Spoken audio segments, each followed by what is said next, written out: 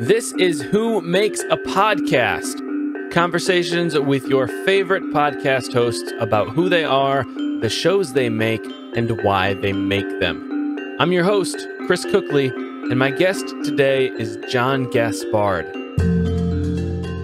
John is the author of the Eli Marks Mystery Series and co host of Behind the Page, the Eli Marks podcast on which he interviews magicians and presents a chapter from an Eli Marks audiobook. He has also written several standalone mysteries and produced a half dozen ultra low budget feature films.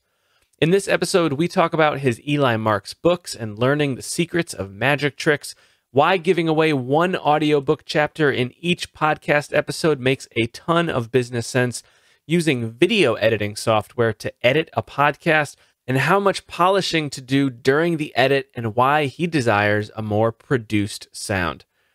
We talk about so much more, and I really enjoyed speaking with John. He's an accomplished author, filmmaker, and now podcaster, and I think you'll enjoy this episode too. Here is my conversation with John Gaspard. John, welcome to Who Makes a Podcast. Thanks, Chris. It's great to be here. I haven't read any of your books yet, and you know I apologize for that. I have listened to a couple of the uh, the audiobook chapters, you know, as I've listened to your podcast, and they sound super interesting. Oh, thanks. How did you get into writing mystery books based on magic? Well, I'd written a uh, thriller about uh, Jack the Ripper in present day and liked that process. I like you said, have made a number of low budget feature films. So I have a background in dramatic writing. And I spent about 30 years in the meetings and events business. So I have a background in video production and video script writing. So I already kind of had the writing stuff worked out. I liked the idea of having a continuous series. I wanted a character who was, uh, let's say, adjacent to crime, but not part of crime. And so uh, I looked around and saw that I had significant number of people in my life who were magicians, far more than the average person would have. Just worked out that way, and I thought, oh, that's an interesting entry point. Uh, these are people who have a curious job. They have their tricks have curious names. They have to be very, very smart. They have to look at the world in a different way. And if I make my magician uh, divorced from a assistant district attorney, then he's kind of close to crime and can help her solve crimes. So that's, uh, I wanted to do a series. I wanted to, there to be a fun character. And because although I was not a magician, I knew so many magicians, I knew I could find out the things I needed to find out in order to come across convincingly in the books. You said you knew a lot of magicians. Is that just by happenstance? Do you just coincidentally know magicians, or are they are they big in your area? I forgot to ask you where you're even where you're located. Where are you from? I'm in the Twin Cities of Minneapolis and St. Paul on the Minneapolis side. Um, it's a it's a little mix of both because I was in the meetings and events business. Uh, I was often in a position to recommend entertainment for corporate events, and as a result, uh, got to know several magicians that way.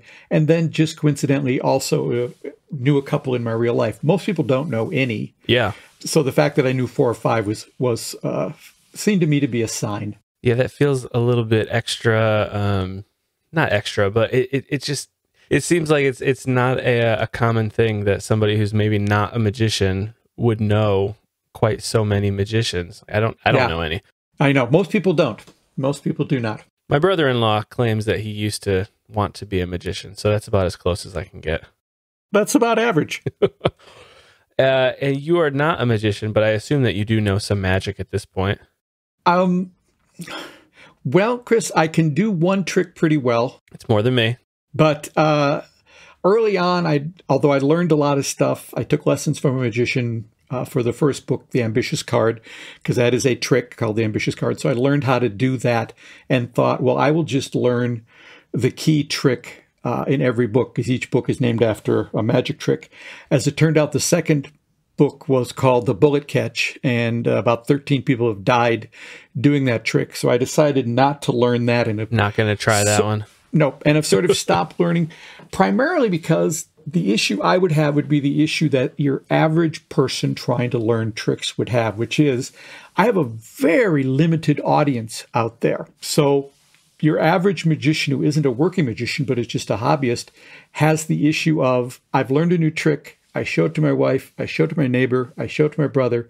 I'm kind of out of audience members. You know, Yeah. I might be the guy in the office who does a trick, and you come by and say, "Do you have anything new?" It's like, eh, I don't have anything new. So, uh, unless you're a performing magician where you can do this stuff over and over and over, there's there's really no point to me learning all these tricks. Although I did learn a lot of the secrets behind how they're done, um, primarily so that I wouldn't accidentally spill them while writing the books. Because in the books, the main character, Eli Marks, is a working magician. He does trade shows and corporate events and birthday parties and cocktail parties and walk around stuff, weddings, things like that.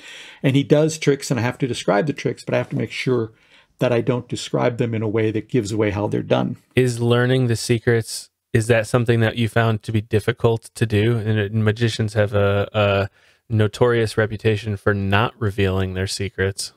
Yeah, the secrets can be found pretty instantly on YouTube. Okay. On- for just about anything, what you'll find, and I, it isn't just me. I've talked to other people uh, who have had the same experience. After a while, you stop wanting to find out how it was done, Sure.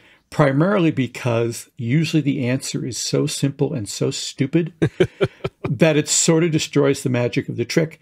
That being said, you know, if I'm watching somebody do, let's say, the linking rings, where they have three or five rings and they're joining them and disjoining them and, and all that, and I know how that's done, when it's done by someone really great, like a Jay Marshall, who's long past, but there's video of him doing it, it doesn't matter that you know how it's done. That's that's the, the the actual working of the trick is the least important part. It's the artistry in the performance and the story the magician is creating, and and that's what you learn from from uh, seeing way too many magicians. Is the ones who are really great are the ones who have transcended what the trick is, and have created something even more magical because of the way they're presenting it. Yeah, they're almost like actors on a stage, right? Uh, Putting on some kind of persona or There's a, a famous quote uh, from a long dead magician who said that a magician is an actor playing the part of a magician.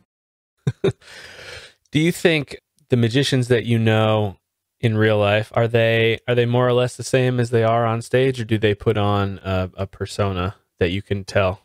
Not unlike stand up comics, uh, they are very often themselves on stage just projected 10 to 20% more in many, many cases. They, they're just taking their own personality and amplifying it.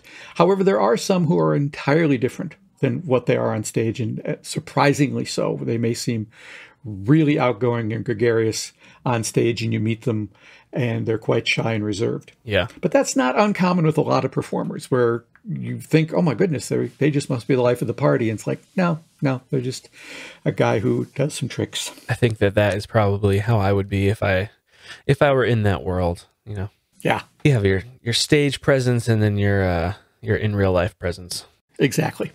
How many books have you written so far in in the Eli Marks series? There are eight books in the Eli Marks series. And they're all based on a magic trick, or they're all just titled about around a magic trick.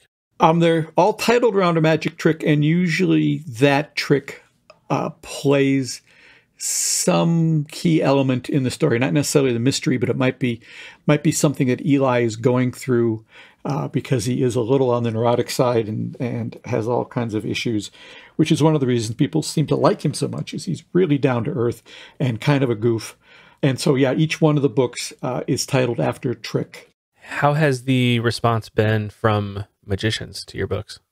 It has been very well. Um, you know, I was originally published with a small publisher for the first couple books, and they weren't getting the sort of traction they wanted, and neither was I. So I bought back the rights and have been self published ever since.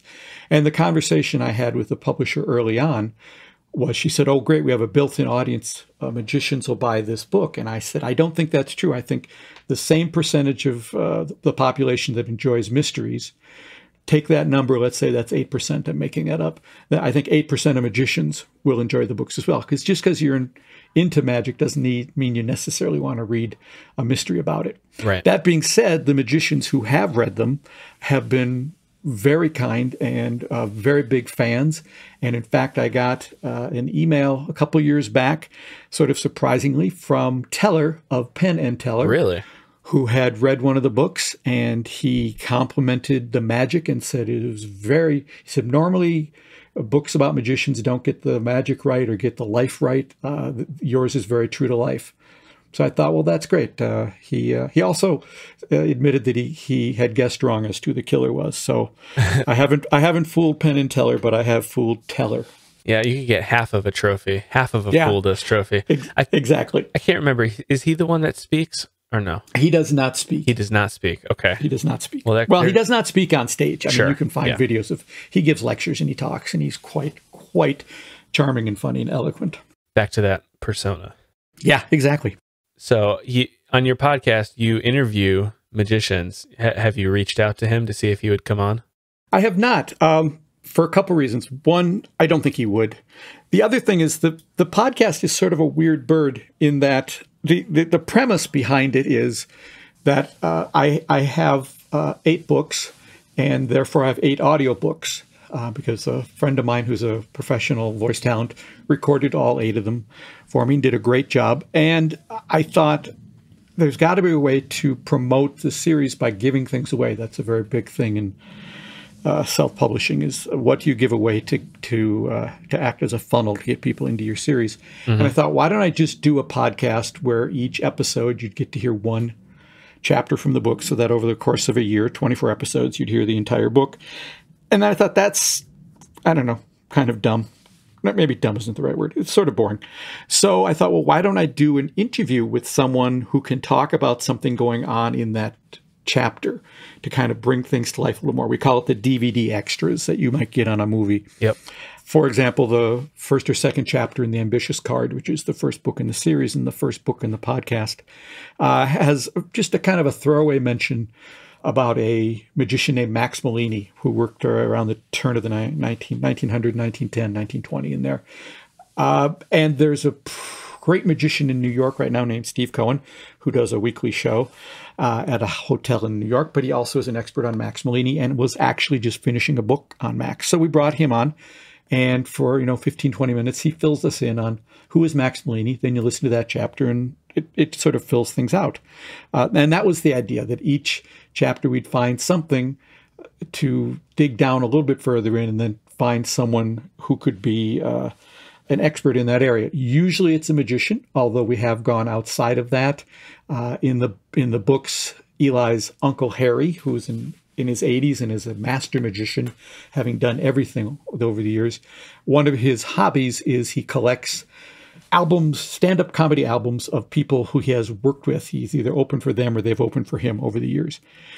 Meaning that whenever he's in a record store, he likes to dig in and find the old Smothers Brothers, Lily Tomlin, Flip Wilson, George Carlin, all the old uh, LPs. And so for that chapter, we brought on a guy named Wayne Federman. Wayne is uh, a comedian, but also an adjunct professor at the school in LA, uh, UCLA, I think, Maybe I'm wrong about that. Maybe it's USC. Anyway, he, he runs a course on the history of comedy and has a, a terrific podcast on the history of stand up comedy. Uh, and as a subset of that, knows a lot about comedy albums. And so we had him on to talk about Uncle Harry's collection and the and you know what he thought of the things that Harry picked out. So usually it's a magician, but often it's just a, an expert in the field who can tell us more about what's going on in that chapter. And do you are, you paying a lot of attention to the world of magic? Like, do you know who these magicians are, or do you have people suggesting magicians to you to bring them on? the The world of magic is remarkably small, so the the there have been a couple instances where I've reached out and said, "Who'd be a good person to talk about this thing?" or just sort of reinforce, "Hey, is is this the right guy to talk about this?" And I've gotten the answer, "Yes, that's the right person to talk about that." And I have also had a couple magicians who've reached out and said, I love the show. I'd love to be on it. Can I be? And I would email back and say, here's a list of the topics I'm looking for. Can you speak to one of these? And if they can, then they come on. So that's sort of the process. I don't know if it's true of other niche communities like this, but in the world of magic, the people are really, really open and uh, willing to answer your emails. I've had very few people say no. Um, and usually it's more of a um, of a scheduling thing.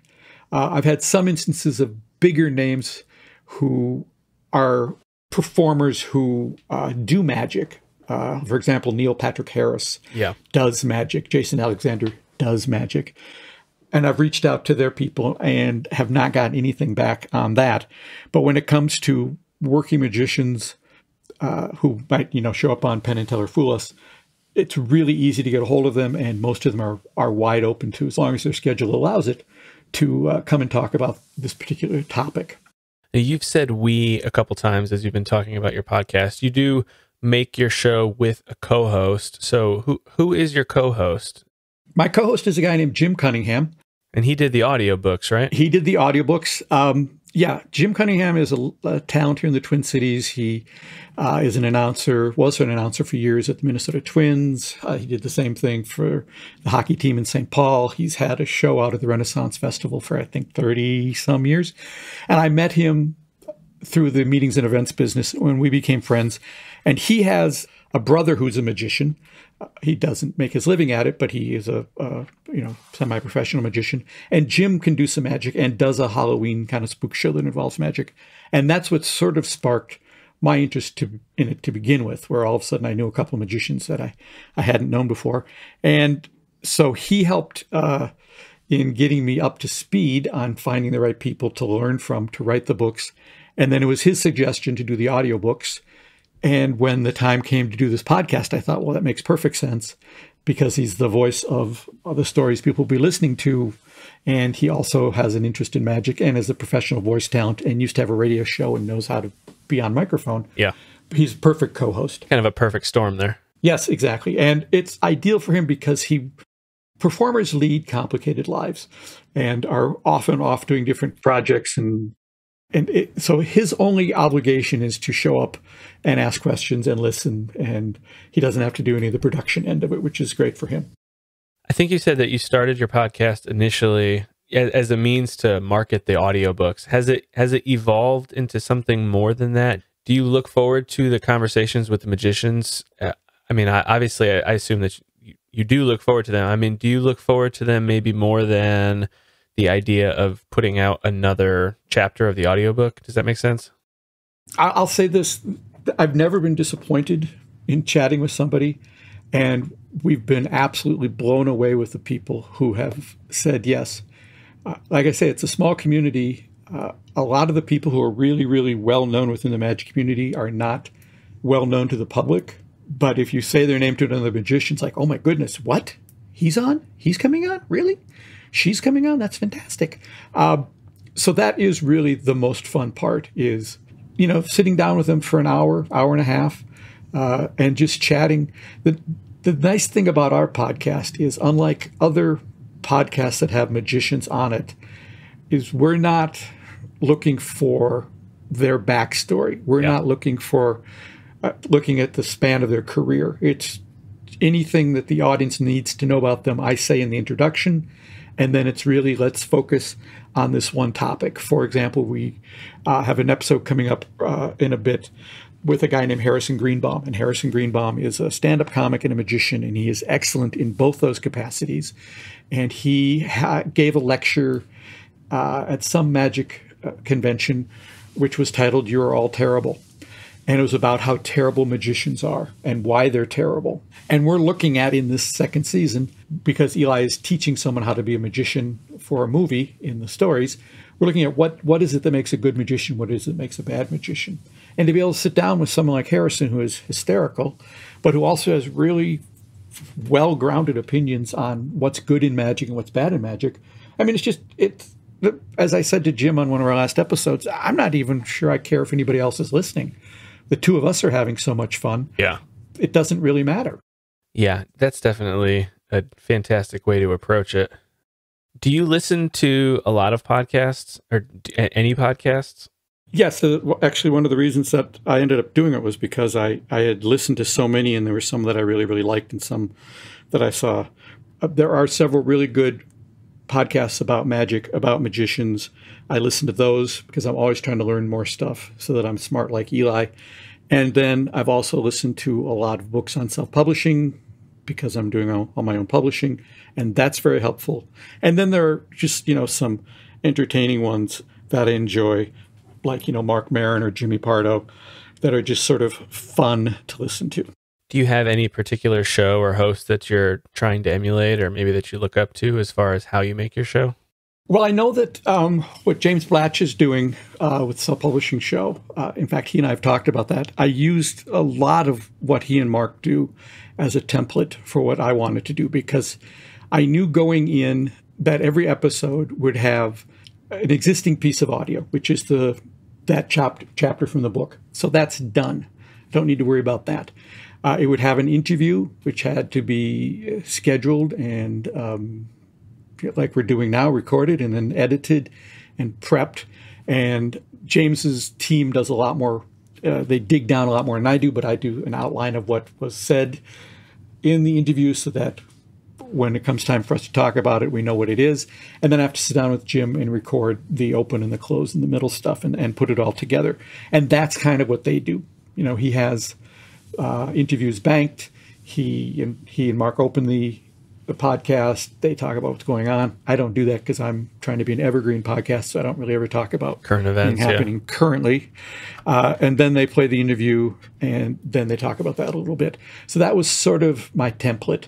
I knew that uh, having listened to many, many podcasts where there was literally no editing going on, I knew I was going to do a lot of editing primarily because I wanted to keep it to about an hour. So if I have a 20 minute chapter and a 30 minute interview and you know, another 10 minutes of bantering around, um, I've got to get the interview cut down.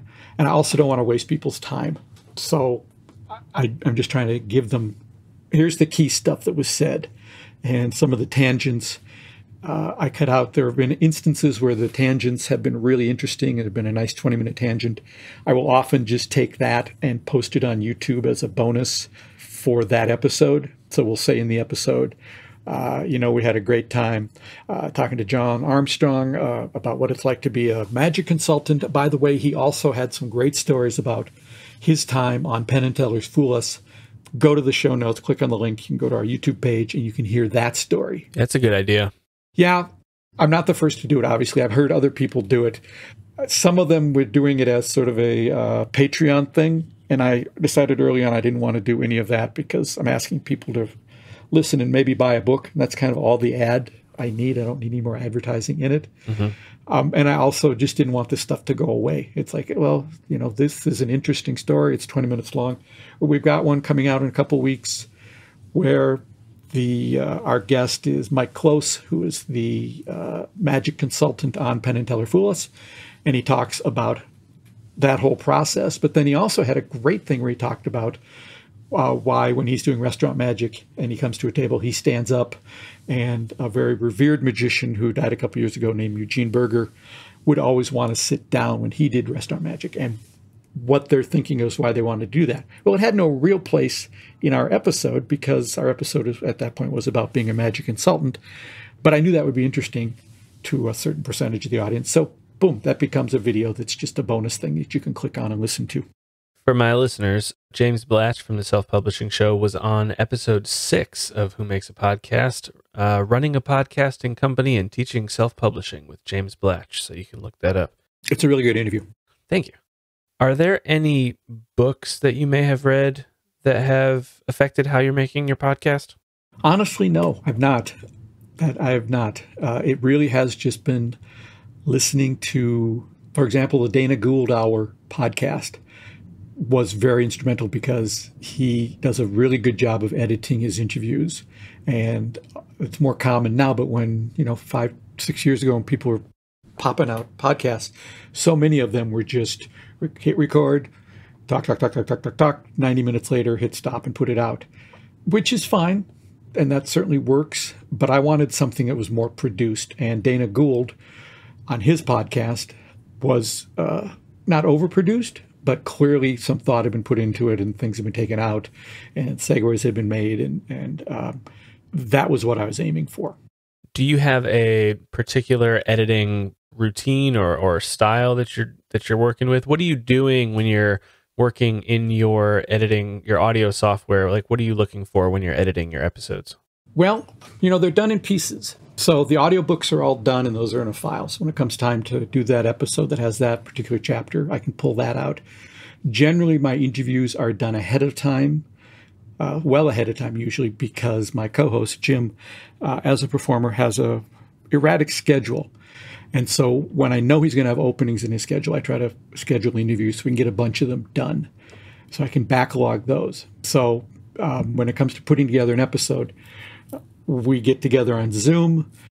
I put together an outline of what's going to happen. Uh, we go through the, the segments, which are the, the welcome, which sets up the interview. And then we have a discussion about the interview, which segues into introducing that chapter, which means sort of recapping what happened in last episode's chapter. And then out of that chapter, we do we do a wrap up. So we can do our stuff in 20 minutes to a half hour. And I do that on Zoom, and I record it uh, where it saves on my desktop and not in the cloud because I found after a while, wish they told you this, but they don't.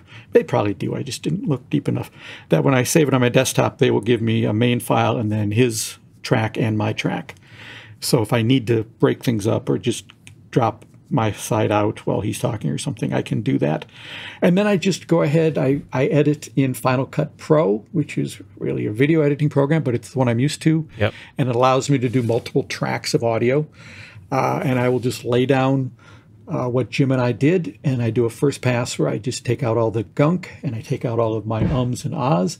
I leave in a lot of his because he has sort of a charming, stammering, stumbling way of talking. So I leave in a lot of his stuff because it's pretty charming. Does he know that he you polish yourself up a lot? I don't think he's and then figured that out leave yet. him leave him high and dry with the ums.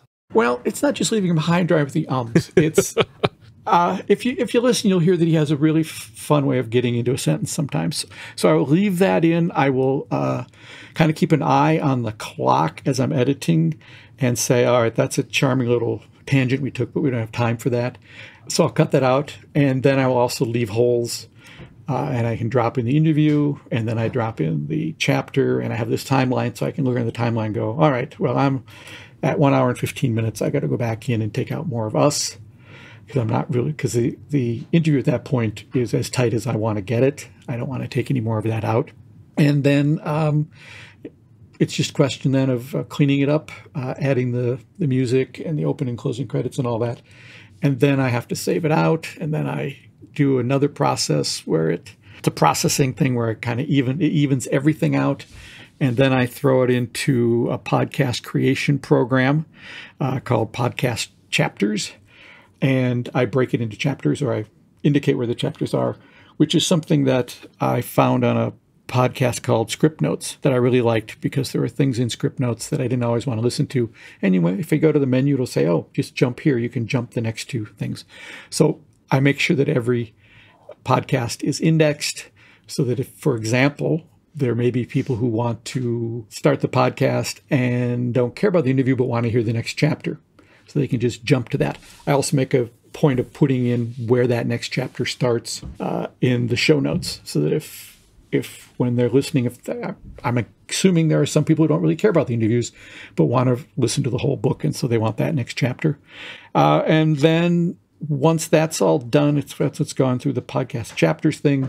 I will do a uh, a YouTube version of it, which is just the sound with a graphic for that episode. So people, if they want to listen to it on YouTube, they can. A certain number of them do, and they seem to like that. So that's fine. And then I go ahead and I am on Squarespace, which is where I, uh, I publish it out of, and I just put it on Squarespace and, and set it up. So it's it's a bunch of steps. It's a lot more work than I certainly thought going in. Yeah. Um, there's a lot more steps, and I'm glad that I do it uh, every two weeks because if a few months went by, I would definitely forget. And I'm always terrified because occasionally you'll, I'll turn on my uh, phone and look at a podcast that I've downloaded from someone else, and it'll say there's no content here. It's like, oh my goodness, somebody here put out their podcast and they didn't, they skipped a step somehow and it went everywhere and it's not there. So I'm always very nervous about making sure that I've followed all the correct steps and that it is in fact adhering and and being sent out. I've never heard of podcast chapters, but and I'm I've just looked at my like my podcast app that I listen to podcasts in, and I, I don't see chapters in there. Is that uh like an Apple specific thing, or how, do you know how that works? It may be. Let me just look here. Um, I know YouTube has chapters. Does do those carry over to your YouTube post? no, I don't. I don't No. do that. Okay. It may not be on all podcasts. I just knew that I wanted to be able to offer that in Yeah. mine. That's interesting. And do you use Apple Podcasts to listen to your podcasts? No, I No? use Okay. a uh, program called Overcast. Okay. They're the ones who download all the stuff for me, and and it's just because a, a techie friend of mine said uh, he recommended Overcast, so that's what I went with because I don't know what I'm doing, and he does. Fair enough. Did you say you use Squarespace for distribution? Mm-hmm. Yeah, I have my websites. I have three websites, and you have a blog option that you Yep. can put on your web page. And um, I just did a little digging, and they it was pretty easy to do to get the RSS feed set up Okay. through them, and it's worked very nicely. So they provided you the RSS feed, and then you went out and, and gave that RSS feed to Apple Podcasts and Google I, Podcasts. yeah, I went to all, and the places and, and gave them to them. Yep. Cool. And then that's just included in your web hosting, I assume. Yep. Awesome. What kind of history did you have with audio recording before getting into podcasting? I know you said that you did film stuff, and obviously audio is a big part of of making films. Like what kind of decisions did you have to make when you were picking out your podcasting equipment? Um, I kind of already had virtually everything I needed because I was doing audiobooks. Okay. So I already had a Blue Yeti mic and I had the laptop and I had the program and I knew how to edit stuff. Although I wasn't necessarily always doing in charge of sound when I was making the low budget features, I was usually directing. Between that and the corporate events and corporate videos where I'd work with sound people, I kind of, uh, via osmosis, learned enough to make me dangerous Yeah. where I can make something work. I'm I'm that guy. I can turn it on. As soon as something doesn't work, I'm useless. but if everything's working, then I can I can make it work. And like I say, because I'd done the audiobooks, I had the microphone for that, I had the program for that. And then it was just a question of figuring out how what format I wanted to do it in, how you know, how did I want to introduce it, how often did I want to do it, all that stuff. Are you still using the Blue Yeti? Uh, the Blue Yeti is in the other room, which I have set up for audiobooks. Uh, I'm using the Yeti Nano for this right now Okay. On one side. And then on my other side, I have my little Zoom recorder recording my half of the conversation in case anything goes wonky at your end. Yep. And then you said you was it Final Cut? Yep. Is that what you're using? Okay. Final Cut Pro, yeah. That's your editing software of choice. It is. I know that, you know, it's maybe a little overkill for what I'm doing. Uh, and I know there are probably sound programs that are just devoted to sound that are better, but I really know how it works and it allows me to do, uh, you know, as, as many layers as I want of sound. It is um, delightful when it comes to if you need to sync. For example, when I get the main audio back from Zoom and it gives me my audio and Jim's audio separately, Yeah. I can just throw those on a timeline and say sync these up. They sync them up. I adjust our volumes and, and we're off and running. Um, and on a on those occasions that I've also been shooting video to go with the to go with the podcast. There've only been a couple instances of that. It's been very nice to have everything in the same program. Yeah, I use Reaper for my DAW for my audio recording, Mm-hmm. but I just started dabbling in DaVinci Resolve for some video editing stuff, and they have a, a really impressive audio suite just built into DaVinci Nice. that they give away for free. It's all just you know, I mean, you could pay for the the studio version that's got more video effects and stuff, but the audio software that's built into DaVinci is is super impressive. But yeah, I I, I like Reaper. I use it because uh, I'm accustomed to it. Yeah, that's. I mean, when James Blatch and I were talking about this very same topic, he, he said the same thing. He's used to editing in Final Cut Pro and Yeah. Premiere because of his background in video, and you just stick with it if you can.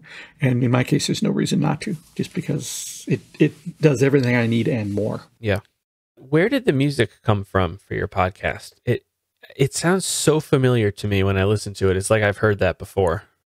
Well, I bought that piece of music when we started the audiobooks, and that is the theme that I use for Eli Marks. I know that other podcasts have used it; they've also bought it and used it. Okay. Uh, but it was sort of a branded thing. I wanted to just keep that Yeah. uh, uh, so that you, when, as soon as you hear that, you know you're you're in the right podcast. Yeah. So I may have heard it before then, and that that would make sense. Yeah. you sure could have. Okay.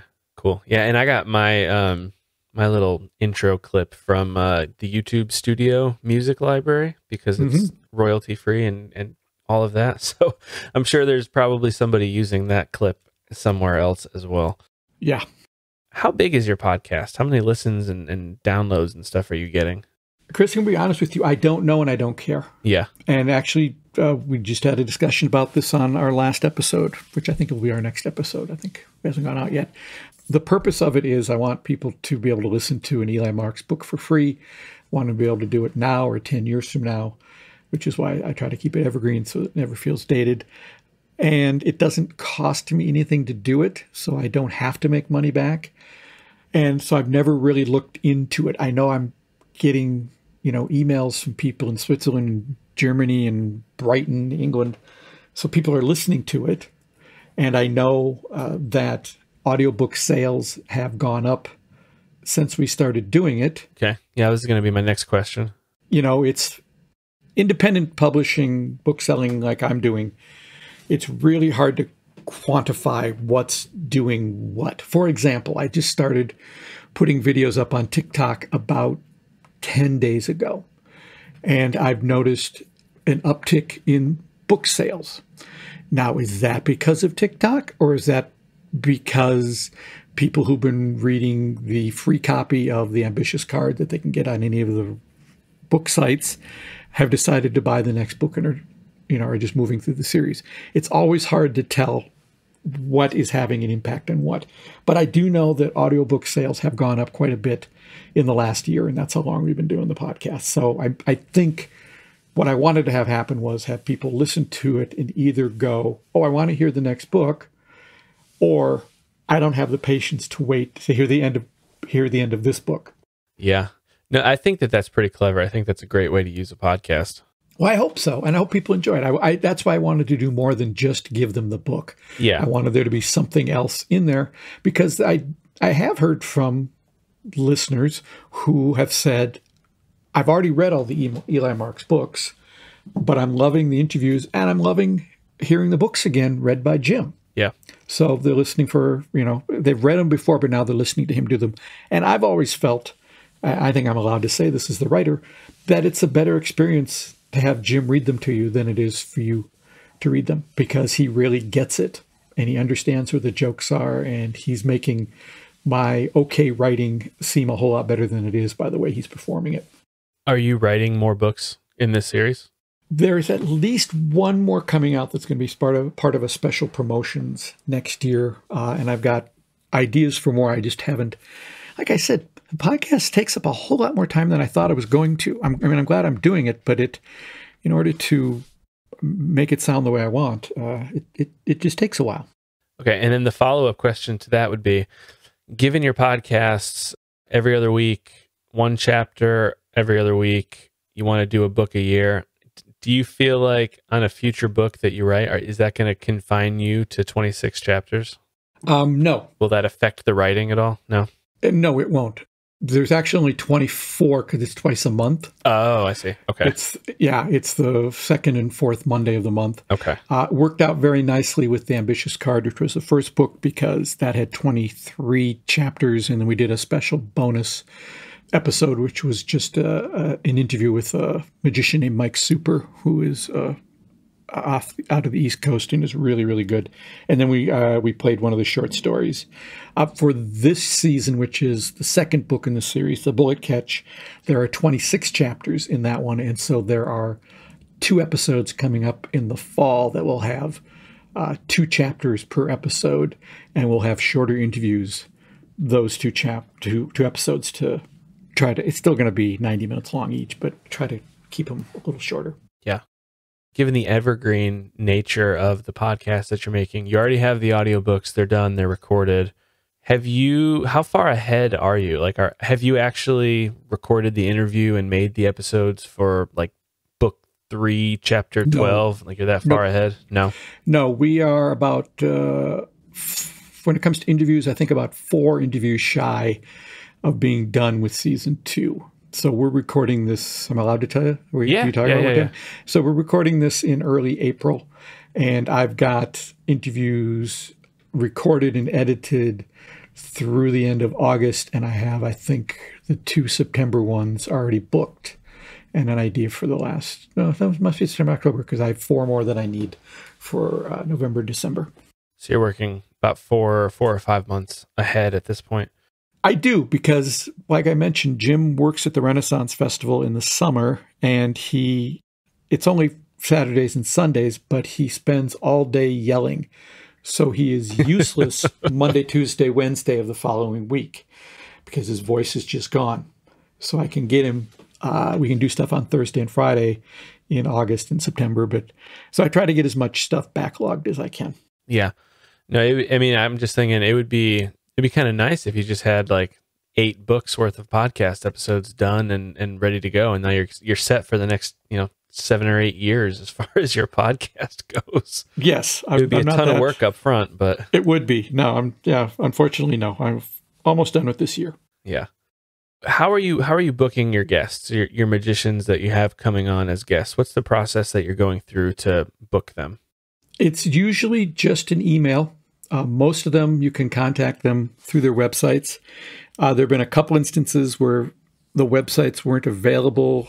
They didn't have a contact information on it. And so I would go to a, you know, because it's such a small community, I can just reach out and say, hey, do you have an email for so and so? And I'm generally able to get that. Uh, there have been instances where I've gone through their IMDb page or you know, publicist. For example, we had the talk show host Dick Cavett on last year, and Dick Cavett is not really accessible, but he does have a publicist. And so I sent an email to his publicist and explained, you know, Mr. Cavett has a, lifelong interest in magic. Uh, there's particular things we want to talk to him about, about guests he had on his show. Uh, and that's that's how we got to him. Whereas a few weeks later, we had the amazing Kreskin, and he was I just reached out to him via his website, and he got back to me and said, "Sure, I'd love to do it." And as I mentioned, there are other ones. Uh, generally, people who have have some form of magic background don't do it anymore, but are still interested in it. Uh, like I said, the Neil Patrick Harris's of the world, the Jason Alexanders, the J.J. Abrams, uh, people like that. I've tried reaching out and and not really getting anywhere with them, uh, which is fine. I'm okay by I'm okay with that. Uh, I'd love to talk to them, but it's okay that we're not. I've got plenty of other interesting magicians we can talk to as well. And when somebody says yes, they want to come on, are you doing it kind of the old-fashioned way with uh, you send them a, a, list of times that you're available? Yeah, I'm working with a magician we've been trying to get for a while who's been very busy, and he finally emailed today and said, "I'm I'm I'm open next week after Tuesday." And so that at that point, it's a text off to Jim saying How's your Wednesday look? All yeah. right, Wednesday afternoon, good. Email to the guy. How about Wednesday afternoon at three? He emails back. How about three thirty? Fine. I'll send you a link. We're all set to go. And that's generally how it goes. You know, when are you available? And then we make it work. If for some reason it's time sensitive, if if if you like uh, you, you, if there's a sense that I might lose them, and Jim's just not available. Um, for example, there's a a duo in uh, England called Morgan and West, who are fantastic magicians and really, really smart and able to speak about it quite eloquently. It's not just the accent, they really are saying very smart things. And Jim simply wasn't available at the time they were available because there was a like a six or seven hour time difference and he was busy. So on a couple occasions, I have done the interviews on my own, but I always try to include him whenever I can because um, you know, we're not getting paid for this. And uh, that's the thing he loves is being able to uh, talk to these people who in many cases are heroes of his.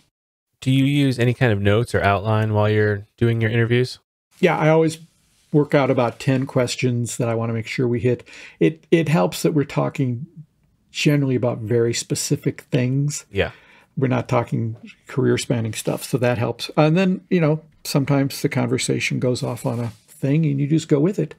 And how are you how are you driving growth to your podcast? Obviously, you're coming on podcast. I, I, know you probably you know maybe not even trying to do that. You're not you're not tracking Chris, stats. I'm but, not tracking it, so yeah. if, if I can't measure it, I, I can't grow it. Yeah, that was the argument I always had with my old publisher, where they'd say, "We want you to market the books," and I'd say, "Tell me how much they're selling every day." They'd say, "We can't tell you that," and I said, "Yeah, then I can't help you. If I don't have numbers, I can't help you." But you are doing some stuff, right? Because you went on the yes. self-publishing show with James. You're coming on this podcast with yep. me. Are you going on other podcasts? Is is is being a guest on a podcast just a, a, a fun hobby for you, or are you? Is there an active uh, a, that was reason an active? Yes, that's There's three reasons why I would do it. One is promote the podcast. The other would be to promote the mystery series of books. Mm-hmm. Third one is because I have a background in filmmaking and have written a couple nonfiction books on how to make movies. Um, I also end up on filmmaking podcasts as well. And that was something that I decided during uh, the uh, lockdown that I thought, well, th- here's something I can do to promote these three areas that's only going to cost time. There's no money involved. And as a podcast host myself, I know that uh, people never mind when you email and say, Do you need someone on your podcast on this topic? Yeah. The answer may be no. Uh, but on the other hand, it may be yes, thank you. I that's perfect. Yes. And how many how many times have you been a guest on a podcast? I've actually lost count, but I would guess really? I'm probably yeah. Well, you know, keep in mind I'm not very good at counting, but it's it's at least a couple dozen for sure. That's fun. It is. It's not. It's not a bad way to spend your time. Yeah, and you've been on uh, James's podcast twice, right? Yes, I'm. I was very surprised that he wanted me on the second time, but we had talked about it during the first interview. This idea I had about the podcast and the fact and I just emailed him kind of in passing saying, you know, it's been a year later and it actually seems to be working. And I was surprised to get an email right back from him saying, let's do this. And then we recorded it. And it was like the next week it was up. So they used it very quickly as well, which which I thought was very interesting because I have some really good interviews for my podcast that I'm sitting on that I yeah. won't be able to. I mean, I'd, I'd love to just release them all at once. It doesn't make any sense. But I mean, I've got actual big names coming up in the fall that's like, oh, that's cool. And they got to wait. Yeah. I mean, you know, I interviewed him and then he was on my podcast and then he interviewed you about making your podcast. And I, I honestly felt like, you know, James Blatch, you got to stay in your lane a little bit. I mean, you're talking about self publishing books coming on to my podcast to learn a new way to make podcasts, and now you're going to go take it. And yes, but I learned about your podcast when he talked about it on his podcast. I know, I know. So, and, and a I, lot of people listen to his podcast. That. Greatly appreciate that. No, James is a fantastic guest, and I'd love to have him on again. Um, I had a ton of fun talking to him. And I will say, he was just recently on another podcast. I won't mention it. I want to, uh, and didn't mention it at all on self-publishing. So oh. he was, yeah. So you know, I, I, you should be glad that he mentioned you. Yeah, I am. I am. Yeah, very happy. Um, I had I had a great time talking to James. He was he's, he's a great. really he's a really good interviewer. You don't even feel like you're being interviewed. You're just chatting with James. Yeah. You told me before we started that you have started a second podcast called the Occasionally the Occasional Film the Podcast. Occasional Film Podcast. Yeah. What's what's that about? Well, that's the other side of me, the filmmaker side. Um, like I say, I've written a couple books on how to produce low budget movies or how to write screenplays for low budget movies. And in order to um, put those books together, I ended up interviewing a lot of filmmakers, some big names like Roger Corman, who I think everybody knows Roger Corman's name, um, and some lesser known but still very, very skillful filmmakers. And I, I uh, had a lot of stuff left over so I started doing a blog uh, where I would print longer form versions of the interviews that I was not able to use in the book. And then I did, um, I tried some audio uh, interviews, I don't know, four or five years ago. And that I tried to do a podcast maybe through SoundCloud, and it wasn't, I don't know, I wasn't really up to speed in what I was doing. And so I sort of abandoned it and it went away. But I realized I had these assets of these interviews and they're pretty good interviews. For example, the the primary one that'll go up uh, after our introductory one is with Jonathan Lynn, who directed My Cousin Vinny and the movie Clue. I loved My Cousin Vinny.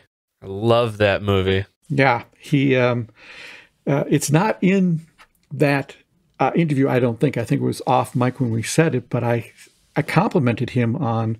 I said, "There's no movie that comes to a conclusion faster and better than My Cousin Vinny." And he said that was his biggest problem with the script, which he loved. He was given Dale Launer's script and he loved the script, but he said, I can't have I can't have a jury go out and come back. I've, it's got to be done. He's got to say, case dismissed. And that's what I think is one of the reasons that movie is as successful as it is, is that it really ties up perfectly and very, very quickly. And he was great to talk to. So anyway, I had these recordings and I had other people I wanted to talk to, and I know how to do the podcast now. And I thought, well, why don't I just do one occasionally, which is breaking one of the cardinal rules of podcasting, which is you're supposed to have a regular schedule so that listeners know when it's coming out. And I thought, well, that's fine. They're getting that with uh, Behind the Page, the Eli Marks podcast. But when I have stuff that I want to put out on the other one, I'll just do it. I'll just put it out. And that's the purpose of it. I think uh, I think Jim will be co-hosting some of it. I will have other people. I'll have occasional co-hosts because it's an occasional film podcast. Some of them I'll do myself. Some I'll have other people on, and it's just sort of like the books in that the the overall general focus is how do you make a movie uh, without breaking the bank. I mean, it sounds like it's going to be a great podcast. Again, I don't know if more than one person will listen to it. Yeah, uh, but it, it and you just, won't know probably. I won't know. No, and if somebody tries to tell me, I will just slam the door in their face. I don't want to know. I think if if either one of them becomes really really successful, I would somehow find that out. I think that news would get back to me somehow. You would think so. Yeah, you'd think so. Maybe when I hear Jimmy Kimmel make a joke about it, I'll right. go, "Oh, it must we must have broken through somewhere." Yeah, yeah. And so that one's just getting started now. This is it is as we're the, as we're uh, recording as this we're beginning talking, of April. The, yep. Yeah, it'll come out. Um, the first episode will be out. Uh, what is next Wednesday, the thirteenth of April? Cool. Yeah, that one will drop April thirteenth. And are you going to be cross promoting it on your other podcast, or is there are these separate separate entities, separate things? You don't want to. Yeah, I'm not going to cross the streams. Yeah, I don't think. I think uh, just because I don't know it. It people think of podcasts as being, you know, hey, I got today's podcast. I got, you know, the new one. To, you know, the self publishing show comes out on Friday. I got the new one. Yeah. But in reality, this is just a library of stuff that people can look back on mm-hmm. years from now. So I don't, you know, I don't want to make it seem like something that's happening today. It's just, it's something you can, it's a resource you can go to whenever you want. The only thing I say is that I, and I've said this a number of times on the Eli Marks podcast, I'm putting links in the show notes with the understanding that they may not work when you get them. But Yeah. I'm telling you, they, they worked today. fair enough. Yeah. So podcasting seems like uh, something that you have taken up that you really enjoy doing at this point. Where do you see it going in the future? Your, your podcast and then podcasting as a whole. Well, I don't know if you remember back in the, you don't, you're far too young. Back in the 80s, um, there were a lot of Elvis impersonators. Uh-huh. And someone worked out mathematically that if it continued to that point, that one out of three people would eventually be an Elvis impersonator. and the same, I think, is sort of true of podcasting. Uh, the number of people who are starting podcasts just gets becomes more and more. But I also think that the ones that have more than ten episodes are less common. I think people start them and then they fall by the wayside because it's hard. It is. It's just it's you know, not hard like digging ditches, but you know you're trying to produce a nice piece of quality sound every couple weeks and come up with good content. And I'm I'm I'm not sure in the long run that most people want to do that. I think they want to consume it, but I don't necessarily want to do it. So I think they're around forever. Um, it'll be interesting to see how how they change. You know, so many of them now have a video element that you can have. I don't necessarily care for that just because it's people sitting in front of a microphone. It's like watching Howard Stern. It's like, well, they're they're in front of a microphone. But yeah, I think uh, I don't know if we're in the golden age of it, but it certainly is fun doing it, and it's so easy. I mean, it's it's work, but it's pretty easy to do. Yeah, definitely something that anybody could pick up and run with if they, you know, just gave it a little bit of time, learn Yep. how to do it, figure the the technology out. It's it's so much easier to do now than it was five, ten years ago. There are so many more services available that help you distribute it and make it. And yeah, it's definitely it definitely seems like a growing thing that people can get behind. Although, like you said, probably not many of them are going to stick around for the long term. Yeah, it's it's just that's a lot of content to create. You know, it was easy for us with Eli Marks because we already had, you know, virtually half of every episode already in the can before we started because all the chapters were done. There was nothing else that needed to be done with the audiobooks. So that's that's a big leg up. Yeah, that definitely would help. All right. What would you say is one of the most important lessons that you have learned about podcasting since you started making your podcast?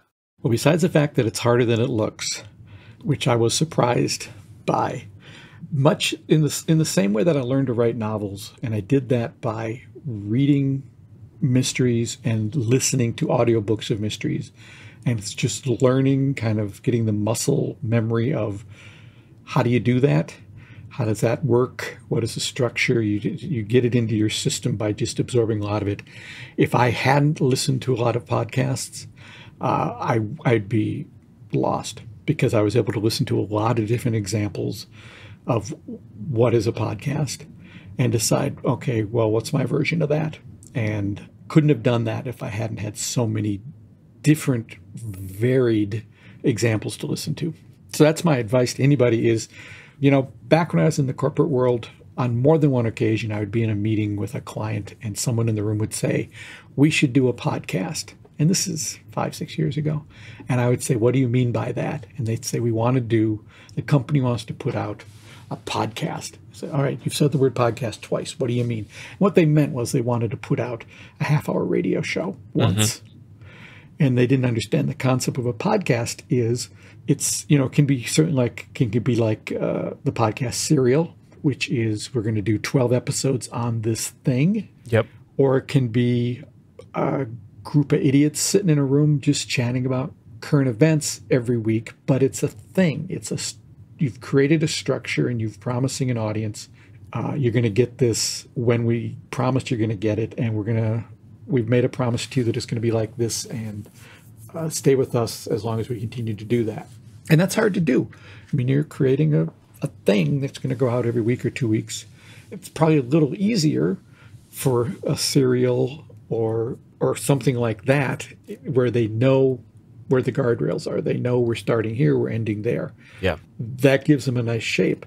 For people who are in a more free-form uh, situation where they're interviewing a different guest every week, like a Marc Maron, I mean, he can do that forever. Right.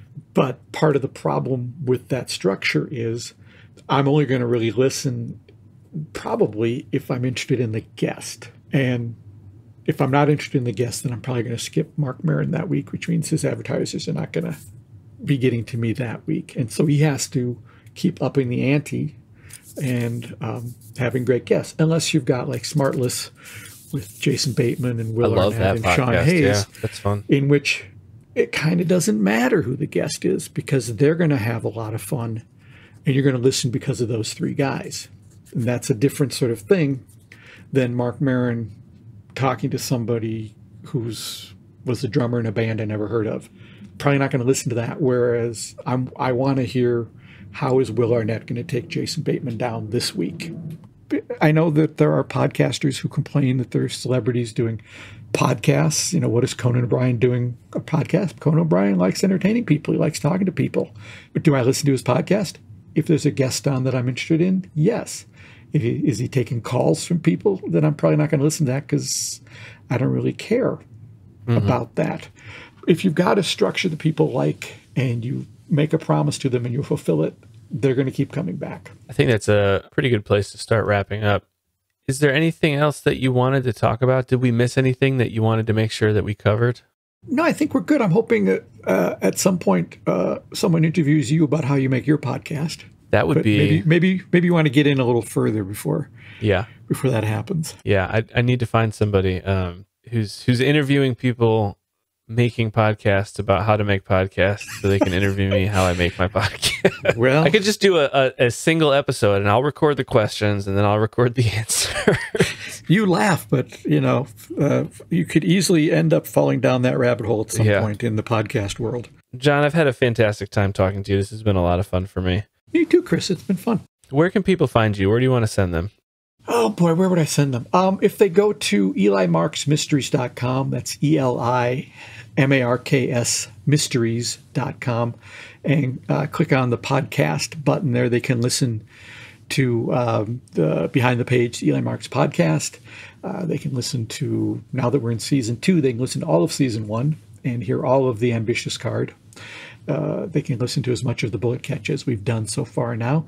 If they want to go to fastcheapfilm.com, that's fast cheap film, uh, they can click on the podcast button there or uh, and get the podcast. Click on the blog if they want to read uh, interviews with uh, filmmakers like Jon Favreau and Steven Soderbergh and uh, Roger Corman. Yeah, those two are probably the two best places to go. Cool. And if they wanted to buy a book, also at the Eli Marks Mysteries website?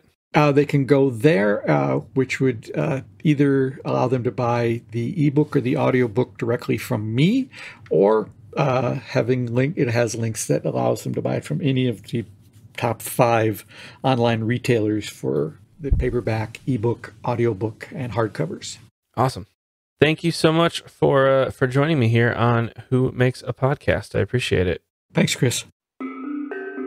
That was my conversation with John Gaspard, author, film producer, and co host of Behind the Page, the Eli Marks podcast, which can be found on all of the major podcast networks. You can also find John at elimarksmysteries.com. My name is Chris Cookley, and you can find me at whomakesapodcast.com. And if you host a podcast and would like to be my next guest on Who Makes a Podcast, let me know. Go to whomakesapodcast.com slash guest and tell me about your show. If you enjoyed this episode, it would be an enormous help if you shared it with your friends or left a review on Apple Podcasts, Spotify, or wherever you're listening right now. It helps other podcast lovers find the show. This is Who Makes a Podcast. I'll be back next time with another conversation with another incredible podcast host. Thanks for listening.